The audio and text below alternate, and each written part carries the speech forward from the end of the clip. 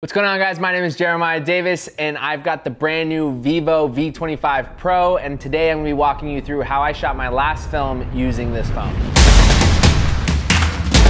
The first location is right now. It's 5 in the morning here outside of Los Angeles. We got a hot air balloon behind us and two skydivers.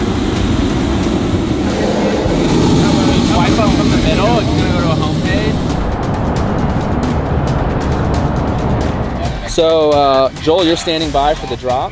All right, brother. Have a good one, boys. This is on you. Ready, buddy? Whenever you're ready. Three, two, one. Woo!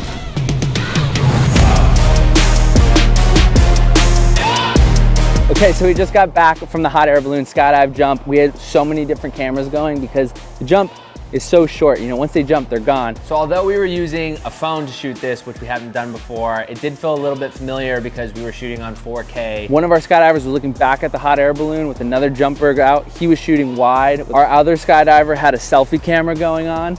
He got a cool shot of him exiting the balloon. And then when he was under his parachute, you know, just cruising around, he had that selfie angle. And it's just really exciting to land from a production like this, have so many different angles, immediately available on our phone. Another feature to mention about this shoot was the HDR video, the iconic shot with hot air balloons when you're skydiving out of them, is the videographer that leaves the basket first, facing back up to the balloon while the skydiver is jumping at them and seeing the balloon in the background is sort of like this really vibrant, sort of gut dropping feeling that you get. And so to have the HDR video to really show all the different colors and the dynamic range in this shot is pretty cool that we're getting that out of a phone.